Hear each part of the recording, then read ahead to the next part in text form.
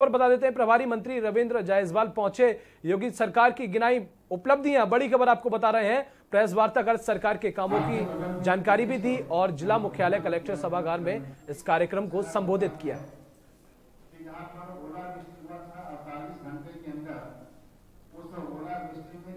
तो हमीरपुर में प्रभारी मंत्री रविंद्र जायसवाल पहुँचे।